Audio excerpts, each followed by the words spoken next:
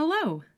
Talend continues to take monumental strides forward, providing you with the most efficient and effective data management capabilities on the market.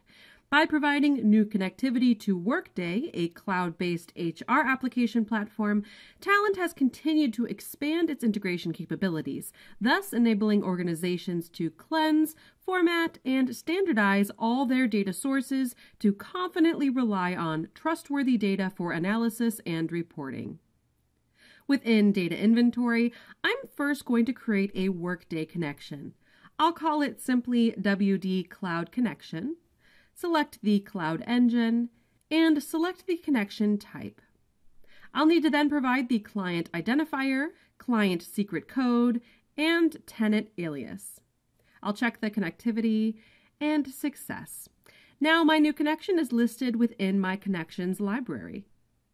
Now I can add a new dataset using this new Workday connection.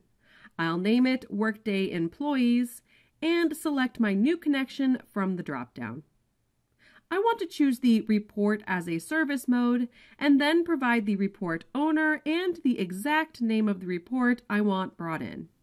I'll choose to review a sample of my data and it looks great. It's that simple. Once imported, Data Inventory will systematically review my data utilizing semantic awareness and automatically assign my data a trust score based on the quality of my data contents.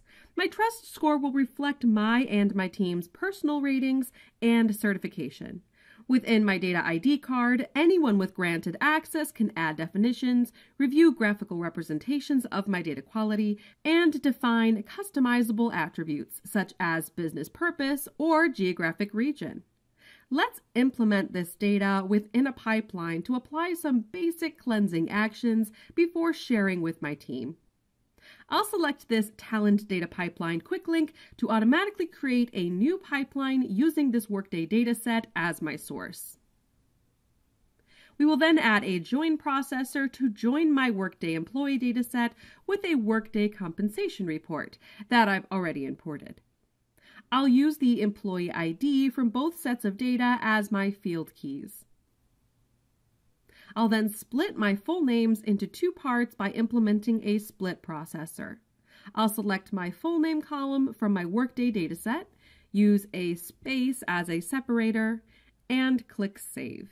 As I make changes, my data preview output will update, providing me with an example of my data with my changes applied. I now want to calculate the total compensation by adding the total base pay and the target bonus values from the compensation report. This pipeline action adds those together and populates the total compensation. Next, I want to add a dates processor to calculate how many years of service each employee has been with the company. Calculating the time since their hire date, I will display the value in years. Perfect.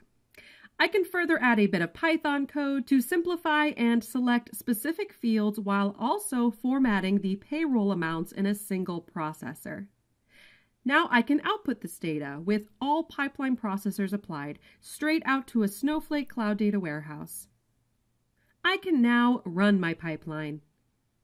And just like that, I've connected to Workday, imported data, and completed customized cleaning and formatting steps to my data, pushing the data out to Snowflake for my team to implement within their analytics, all in minutes.